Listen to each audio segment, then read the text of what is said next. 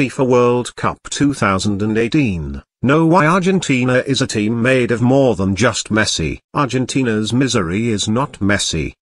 Before you even start reading, you need to understand, this is written with a neutral point of view, there is nothing in person I have for Messi or against Ronaldo. As a neutral fan, don't expect me coming like yeah, they both are legends in their own positions, hell, no. The sad fact that remains unchanged at the end of the day is, people knowingly or unknowingly make football only about these two, it's like football starts and ends with their competition. And now in the World Cup also, we had managed to make it a case of expectation versus reality when Portugal managed to make a comeback and Leo missed a penalty. This time let's just keep our historical memories to ourselves and judge the players as a team, and not Messi or Ronaldo.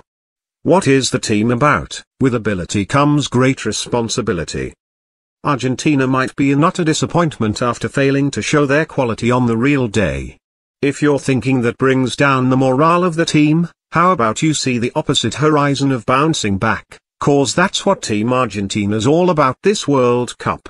A probable weakness, their flying defense. Well, Argentina's defense has had problems holding their defensive lines, and maybe that is why they had conceded within four minutes after they scored. Although we can't blame the lines as the goal had been scored from a rebound, the aging Argentina defense will look to use the experience as a standing weapon against oppositions. This is Sampaoli's team, not Messi's. Jorge Sampaoli's managerial success has been a reason behind being appointed to drive Argentina towards glory. It's his forte to take underestimated contenders like Chile to win Copa America. Yes, Argentina's a very different team when it comes to pressing high up the pitch. Sampaoli's way of allowing Messi to be on the free roam looks more of a burden and less independent. You cannot be a visionary and execute the vision every time, and as a fan, we don't want that burden on him.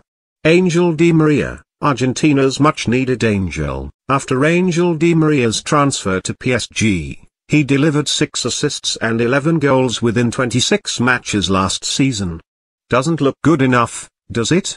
Angel Di Maria is one of the very few players who has been able to rebuild his image after being a failure at Manchester United. His determination towards the national team is undying as he believes that if they don't win it this time, it'll be the end for their generation. Sergio Leon Canegeiro's gameplay The Argentine under Sampaoli has finally broken his drought in Russia this World Cup. Earlier when he had played the World Cup in 2010 and 14, the Manchester City striker was unable to click with Argentina's gameplay. But now that he has already broken the ice, it would not be easy to stop him.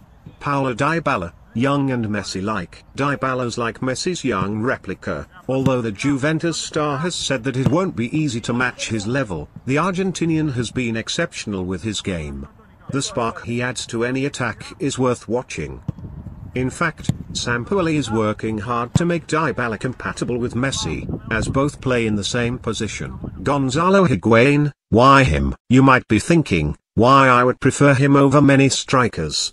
Well after 2014, Gonzalo Higuain has changed a lot. He's not only become a player looking to make a mark but also cruising his team towards the victory.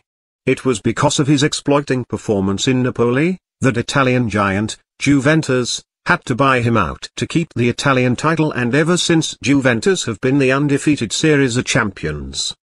If you still don't believe, this is one way of showing you that Higuain is ready for the World Cup. Let's come to the point, shall we? The fight here is against the teams and not among the players. We have made our football fanaticism a religion, and now we're uplifting it like a supporter. But to make fun of a legend as the other one's shining is a very wrong ideology. It's high time we stop considering ourselves as football pundits and enjoy the game call. Play my.